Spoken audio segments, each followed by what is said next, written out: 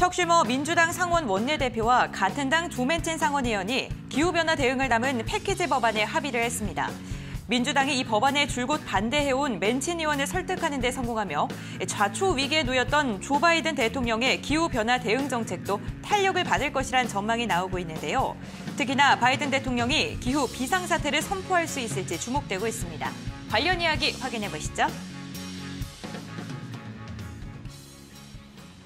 네, 민주당 내에서 이른바 인플레이션 감축 법안에 대한 합의를 한 건데 어, 점점 가시화가 되고 있는 것 같습니다. 어, 간밤에 미국 내 여러 회사들이 법안 통과를 좀 촉구하는 서한을 바이든한테 보냈다라는 음. 이야기도 나오고 있는 상황이거든요. 정확히 어떤 내용인가요? 네, 일단 뭐 어, 법안명은 이제 인플레이션 감소법입니다. 그러니까 뭐 단순하게 여러 가지 내용이 담아 있는데요. 가장 네. 그 중요한 내용은 증세 관련된 부분이다라고 음. 보시면 될 것 같습니다. 그래서 뭐 향후 10년 동안 한 7,500억 정도의 세금을 더 걷겠다라고 얘기를 하고 있는 거고요. 뭐 이와 더불어 이제 세금을 걷었으니까 그만큼 써야 되겠죠. 그래서 이제 어, 소, 그 사용을 하는데 사용처의 대부분이 이제 기후 변화 관련 쪽, 그다음에 이제 헬스케어 쪽이다라고 보시면 될 것 같습니다. 특히 이제 기후 관련된 그 대응을 위한 투자가 한 3,690억 정도 되니까요. 뭐 상당히 큰 이제 금액이다 라고 보시면 되겠습니다.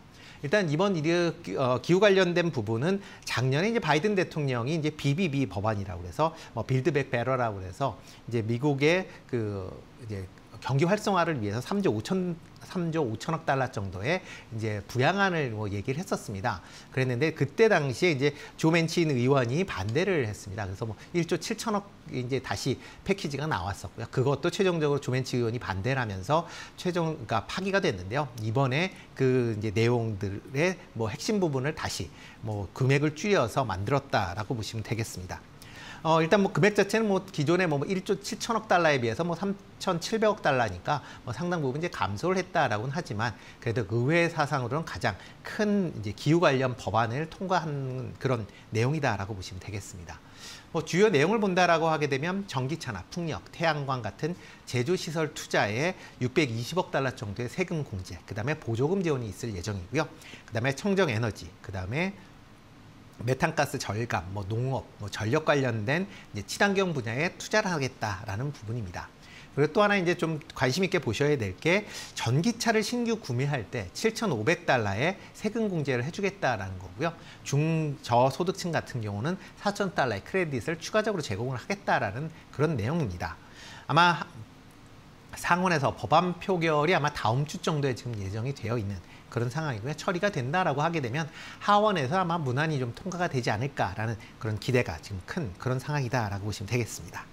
어, 지금 현재 시장에서는 이 법안에 관련해서는 태양광 관련주들이 가장 좀 탄력적인 움직임을 나타내주고 있는 것 같습니다. 우선 뭐 전일 미국의 태양광 관련주들 급등세가 연출이 됐었고 오늘 국내 증시도 대명에너지나 현대에너지솔루션이 대장주로 20% 넘는 오름세가 집계가 되고 있거든요. 그런데 뭐 전기차라던가 신재생 에너지 관련주 전반적으로 봐야 될 것 같긴 한데 시장에서는 좀 어떻게 바라보고 있나요? 네, 일단 이번에 나온 이 법안 자체가 단순히 신재생 관련뿐만 아니라 네. 뭐, 수, 뭐 수소나 원 원자력, 음, 네. 그다음에 화석 연료까지 모든 이제 그 에너지원에서 탄소를 저감하는 기술을 개발하면 지원을 해주겠다라는 내용입니다. 그렇기 때문에 뭐 다 지금 현재 뭐 태양광 이뭐 강한 그런 모습인데 풍력이나 그다음에 수소나 원자력 같은 경우도 아마 관련된 그런 뭐 네. 수혜가 있을 걸로 예상이 되고 있고요. 특히 뭐 전기차 같은 경우도 지금 관련된 수혜가 뭐 향후에 좀 있지 않을까라는 좀 생각을 해보고 있습니다. 뭐 특히 이제 그 종목으로 본다라고 하게 되면 뭐 대표적으로 뭐 태양광 업체에 대한 이제 관심사가 이제 클 수밖에 없는 거고요. 특히 이제 미국 내에 태양광 관련 그 시설, 생산 시설을 갖고 있는 기업들이 우선적인 수혜가 예상이 된다라고 보시면 되겠습니다. 뭐 대표적으로 뭐 하나 솔루션이 뭐 어, 지금 뭐 하나 큐셀이 미국 내에 지금 공장 시설을 갖고 있기 때문에요. 막 가장 수혜가 클 걸로 예상이 되고 있고요.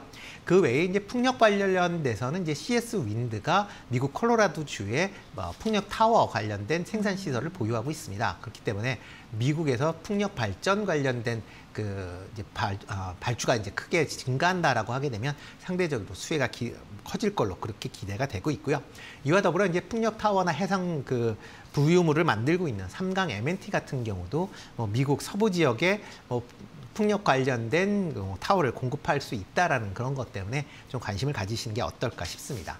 그 외에 이제 그 전기차 관련된 이제 어, 구입 지원금을 지금 지원을 하는 그런 문제이기 때문에 전기차의 판매가 향후에 좀 더 증가할 걸로 그렇게 예상을 하고 있습니다.